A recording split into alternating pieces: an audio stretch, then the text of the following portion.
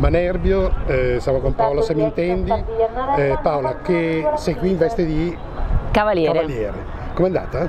Bene, bene, bene. Il primo giorno abbiamo saltato nel campo in erba, che devo dire che ormai non siamo più abituati, infatti ero un po' prevenuta e a casa ho fatto due saltini nel campo in erba, però poi i miei cavalli si sono ben comportati. Il primo giorno sono arrivata terza nella 35 mista con Cassilio, che poi ha sempre saltato le 35 bene.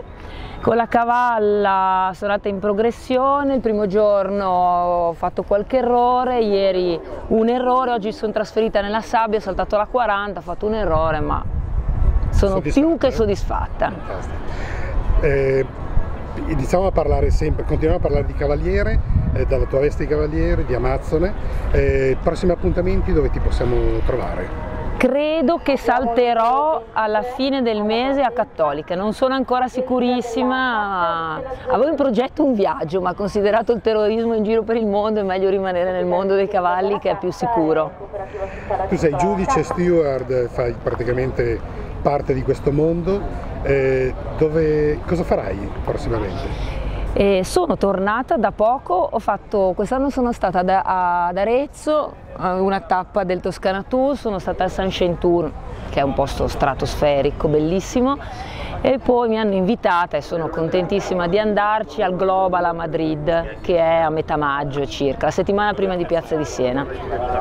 Purtroppo a Piazza di Siena mi hanno invitato come steward, ma non posso andare perché ho un impegno di lavoro e siccome devo vivere col mio lavoro e sono costretta a rinunciare.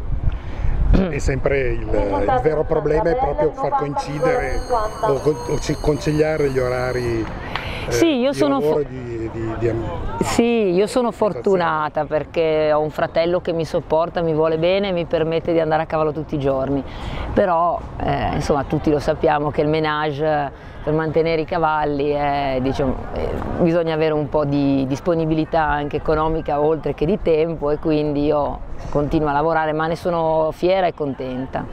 Beh, iniziamo con Madrid, un piede dentro il Global glielo mettiamo, magari poi arriverà anche a Roma, no?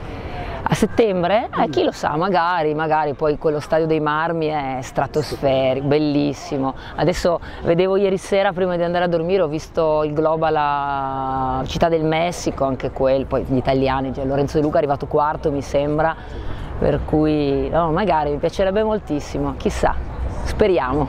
Bene, grazie mille Paolo. Ciao Paolo, grazie a voi.